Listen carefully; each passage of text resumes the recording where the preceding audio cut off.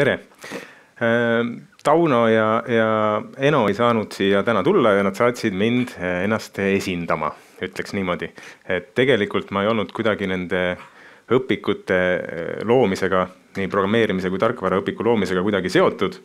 et olin lihtsalt siis piloteerija koolis, et Rocca al Mare koolis, kus ma viisin neid mõlemat kursust, mõlemat kursust läbi et äh, täna siis ka Slidos pole mõtet mulle nii-öelda selle loomisprotsessi kohta küsimusi küsida, et pigem äh, ka kui ma täna siin räägin sellest teemast, et äh, ma vaatan kõike läbi enda, enda nii-öelda prisma, siis enda sellise praktiku prisma. siin on need teemad korraks välja toodud, millest juttu tuleb. Mm. ja vaatame neid teemasid lähemalt. et programmeerimine ja tarkvaraarendus nad võiks panna selles, äh, nendes äh, kursuste, kursuste plokis äh, nii-öelda natukene kokku siduda, kuna tarkvaraarendus on programmeerimise jätkukursus, mis tähendab seda, et tarkvaraarenduse kursusest osavõtmiseks peaks olema varasem programmeerimise kogemus juba olemas ehk siit ma võin ka isiklikust, isiklikust kogemusest öelda, et kui ma neid enda koolis läbi viisin äh,, nii programmeerimise kui tarkvaraarenduse kursust, siis ma alustasin nendega samaaegselt peaaegu ja, ja tarkvaraarenduse kursusele tulid äh, õpilased äh,, kes ei olnud veel programmeerimise kursust läbinud. ja, ja sealt kohe tekkiski äh, väike probleem äh, mis oli siis õpilaste väga erinev tase. ehk siis äh, juhendajana pidi nägema palju rohkem vaeva, et kõik õpilased saaksid endale äh, sobiliku väljakutse ja, ja eduelamuse. Ähm, programmeerimise tarkvaraarenduse kursustel äh, on oluline see, et äh, seal võiks öelda, et see nii-öelda teoreetiline, praktiline osa on väga heas tasakaalus. ehk siis äh, õpilased saavad sellise teoreetilise tugeva baasi, aga samas nad peavad ka kindlasti programmeerima koodi. ja, ja koodi või programmi programmeerimisega on selline lugu, et programm peab hakkama tööle, et kui ta tööle ei hakka, siis on äh, raske seda koodi lugeda õigeks või lugeda, anda selle eest nii-öelda õpilasele hinne. Äh, et see ei pruugi kõigile sobida, selline lähenemisviis ja kindlasti võib tegelikult ka hinnata natukene, natukene teistmoodi. aga kui me siin vaatame natukene, natukese aja pärast sellist äh, automaatkontrolli, mis ka nende kursuste jaoks loodi, siis automaatkontroll ei hinda kindlasti sellist pingutust, vaid ta hindab ainult õiget vastust. Äh, pilt programmeerimise õpikust, äh, teemad on jaotatud seal äh, selliseks peatükkideks, et võiks vaadata niimoodi, et iga, iga peatükk üks nädal ja, ja programmeerimise õpik toetas väga suuresti sellist ümberpööratud klassiruumi. aga selline ümberpööratud klassiruumi mm, õpimeetod ei ole õpilastele väga tuttav ehk siis äh, paljud õpilased esimest korda tegidki sellega tutvust selles programmeerimise valikkursusel ja see oli näha, et äh, see ei olnud midagi, mis neil oleks olnud koheselt väga meeltmööda, et see nõuab, nõuab harjumust, nõuab iseseisvat õpet, sellist, mm, et kodus tegemist rohkem. Ja, ja aga samas teisest küljest on positiivne see, et kui kodus õpitakse teoreetiline osa ise selgeks mingil määral, siis see tunniaeg jääb rohkem eh, selliseks suhtlemiseks, eh, tagasisidestamiseks ja, ja omavahel arutlemiseks. et eh, kuidas võib-olla neid teemasid veel vaadata veel ühe sammu võrra edasi.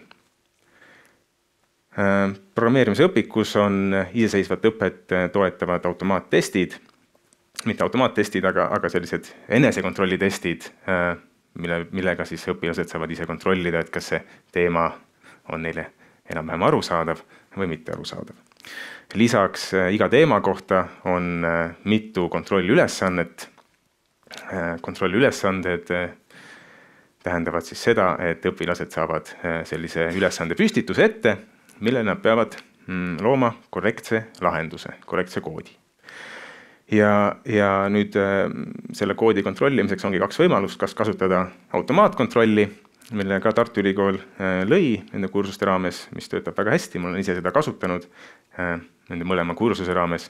või siis õpetaja ise kontrollib kõik need vastuse mm, lahendused ära, kontrollib programmide lahendused ära et ise kontrollimisel on muidugi see boonus, et esiteks äh, nagu sellistel õige-vale vastuste ülesannetel tihti juhtub, siis võib, võib ette tulla, et õpilased kopeerivad üksteise vastuseid.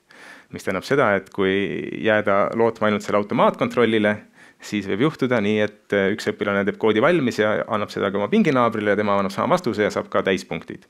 ehk ise tuleks kindlasti üle vaadata, et kas see, kas see kood ei ole mitte, on ikkagi ise kirjutatud või lihtsalt kellegi kaasõpilase pealt kopeeritud Äh, tarkvaraarenduse õpik on sama ülesehitusega nagu programmeerimise õpik, ehk siis erinevad teemad, äh, teemad on kindlasti raskemad edasijõudnutele ja, ja nõuab, nagu siis ennem öeldud, et varasemaid teadmisi programmeerimist. et ideaalne oleks, kui õpilane läbib kõigepealt programmeerimise kursuse ja siis äh, läheb edasi tarkvaraarenduse kursusega äh,. lisaks sellele õpikutele äh, loodi äh, õpetajatele mitmeid abivahendeid seoses nende kursustega mm,. Moodle'i kursus, mida ma isiklikult ei kasutanud, et lõin mõlema kursuse jaoks eh, sellise eraldi veebilehe, kus õpilased saavad käia ja, ja, ja neid ülesandeid ja äh, nii-öelda materjale vaadata. lisaks eh, õpetajatele on loodud äh, tunnikavad äh,, töölehed, mis on siis nii-öelda neid teoreetilisi teemasid kokku võtvad Äh, niisugused paaristöö ülesanded ehk paaristöö on sellepärast hea variant, et äh, õpilased saavad omavahel suhelda, arutleda ja natukene harjutada ka nii-öelda paaris programmeerimist, mis on ka üks, üks variant, kuidas äh, programmeerida. lisaks testid, mida ma ka kindlasti kasutasin, mitte küll igas tunnis, aga, aga paljudes tundides, mis jällegi võtsid kokku selle nii-öelda kodus õpitud teoreetilise osa ehk siis äh, õpilastel oli rohkem motivatsiooni ikkagi kodus see teoreetiline osa ka ise läbi töötada, mitte jääma lootma ainult siis tunnis õpitu peale. ehk äh, testist muidu on raske läbi saada, kui ise pole midagi vaadanud. ja automaatkontrollid lahenduskeskkonnas soovitan väga kasutada, ehk äh, võimaldavad õpetajatel oma tööd kindlasti kergendada mingil määral. lisaks programmeerimiskeskkonnale kasutasime Tonni programmi mis on ka Eestis loodud ja, ja äh, Tonni programmis on võimalik ka sisse lülitada logifailid ehk kui tekkis kahtlus, et õpilased võib-olla ikkagi kuskilt selle koodi kopeerisid, siis saab nende käest küsida ka logi faili, mis näitab koheselt ära, kuidas õpilane selle koodi on kirjutanud. Äh, piloteerimises osalesid järgnevad koolid. et mina kui Rocca al Mare kooli esindaja viisin läbi nii mõlema, nii programmeerimise kui tarkvaraarenduse kursuse. Äh, enda kooli kogemustest äh, võin öelda, et need mõlemad kursused olid äh, valikkursusena, mis tähendab seda, et kõik, kes sinna kohale tulid, näitasid tegelikult üles endapoolset huvi juba kas programmeerida või siis tarkvaraarendusega tegeleda. et see on selles mõttes hea, et, et oli vähe, vähe huvitatuid, osales sellel kursusel vähe, et kõik õpilaste huvi, nagu öeldud, ja, ja hindamise mm, mõtlesin ma nagu nii-öelda natukene ümber, et kui ma, ma programmeerimise kursust juba praegu viin läbi teist korda, et kui ma esimese, esimese kursuse ajal äh, kasutasin sellist äh, arvestuslikku hindamist, et kas õpilane läbis kursuse või mitte, siis nüüd teisel kursusel mm, kasutan hindelist äh, hindamist. ehk siis äh, ja natukene sellist mängustatud süsteemi, ehk õpilased saavad iga ülesande pealt, iga testi pealt mingi arvu punkte ja vastavalt punktidele siis nende hinne äh, kogu aeg tõuseb läbi kursuse. ehk äh, nad näevad kogu aeg, mis tasemel nad parasjagu sellel kursusel on. Kasutasin lahendus, lahenduskeskkonda ja mm, programmeerimise kursus, nagu öeldud, viin praegu läbi teist korda ja kindlasti jätkame sellega ka tulevikus, et et ma näen, et õpilaste vastuvõtt sellele kursusele on tegelikult väga hea. tarkvaraarenduse kursusega nüüd esimesel aastal oli natukene, natukene halvem lugu, et nagu ma mainisin, õpilaste erinev tase ja lisaks ka polnud nii palju õpilasi, kes oleks varasemalt programmeerimist juba õppinud. hetkeolukord on selline, et selle programmeerimise kursuse tegelikult ma viisin ka juba varasemasse klassi, ehk siis praegu saab ka kaheksas klass tegelikult sedasama, äh, sama materjali küll natukene aeglasemas tempos ja, ja, ja põhjalikumalt selgitatud ja vaatame iseseisvat õpet vähem, klassis õpet rohkem, aga nad saavad tegelikult nende õpikute materjalidega väga hästi hakkama, et kuidagi ei jää maha nii-öelda gümnaasiumi osast. ja tulevikuplaanis äh, jätkame, jätkame programmeerimise kursusega, jätkame tarkvaraarenduse kursusega ja, ja, ja vaatame, püüame võib-olla ka seda järjest, neid klassi järjest nooremaks viia, et äh, kust maalt me seda programmeerimise õppimisega alustame. ja kõige lõpuks Eno eh, tahaks teile rääkida ühest väga huvitavast uuest projektist, mis nüüd järgmisel aastal kohe-kohe saab alguse.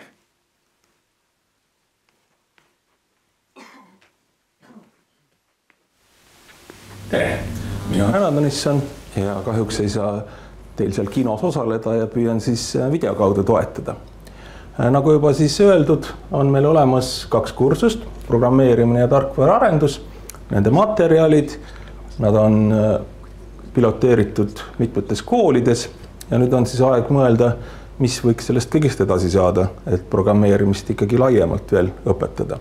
kui tuua välja nagu mured, siis üks põhiline mure on õpetajate nappus, just nende õpetajate nappus kes on suutelised ja tahtelised siis oma koolides programmeerimist õpetama. ja teine mõte, mis sellest õpetajate nappusest kohe tekib, et kui koolis õpetajat ei ole, siis võib-olla saaks kuidagi seda õpet teha e-kursusena, moogina ja, ja sellised mõtted siis äh, võivad käia mitmetes peades ja selgus, et sellised mõtted käisid siis ka majandus- ja kommunikatsiooniministeeriumi peades varasuvel, kui välja kuulutati siis riigihange, et, et korraldataks kursus siis tehnoloogia tarbijast loojaks. tegelikult on tegemist mõnevõrra varjunimega, sest selles hankes oli juba kirjas siis, et, et see peaks põhinema siis sellel samal gümnaasiumi valikkursusel programmeerimine.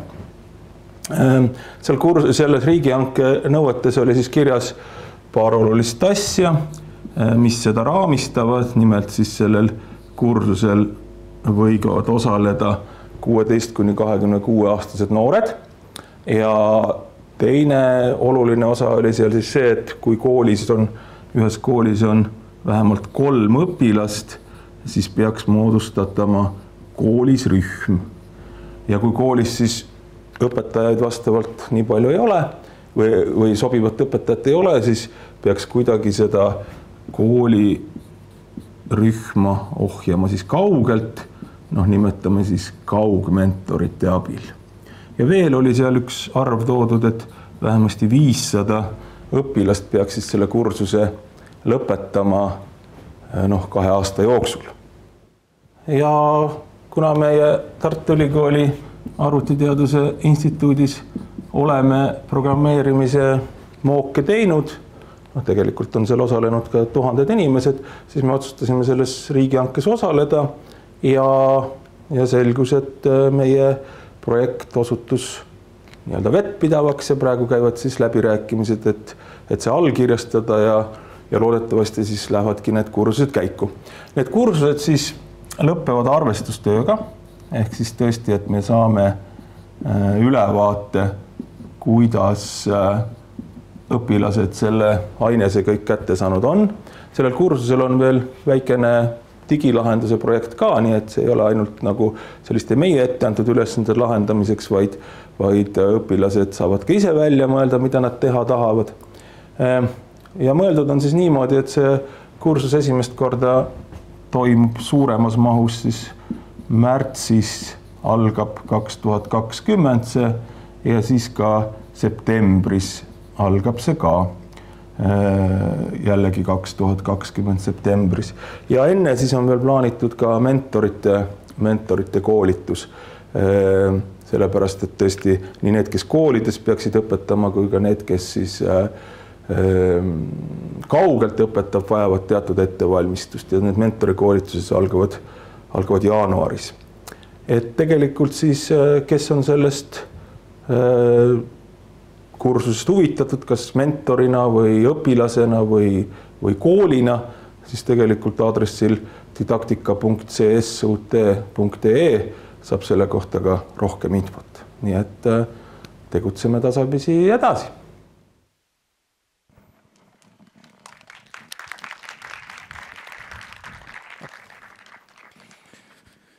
suur tänu meie esinejatele, aga kuna Miku kaaslased jätsid ta üksinda siia, siis äh, ma küsin Mikult ainult äh, ühe küsimuse. Äh, on, tuletan veel meelde, et alati Slidos saab küsimusi esitada, on jälle mõned tulnud ja võtame näiteks selle, mis teeb mõne proge ülesande õpilaste jaoks põnevaks, samas kui mõni teine on lame hmm.? Ma arvan, et kui see on niisugune eluline ülesanne ja, ja võib-olla päevaga kohaline või päevakajaline ülesanne. aga elulisus äh, teeb kindlasti põnevaks, võib-olla kui nad näevad, et nad saavad endal ka mõne probleemi sellega lahendada. et selles äh, mm, mõttes on ka näiteks siin mõlema, mõlema kursuse lõpuks tegelikult võiks valmida selline isiklik projekt väike, eriti tarkvaraarenduse kursuse lõpuks. et mõnel endale huvipakkuval teemal mõni ülesanne ära lahendada programmeerimisega. et see võiks pakkuda huvi. aitäh, Mikk teeme veel ühe suure aplausi. aitäh, aitäh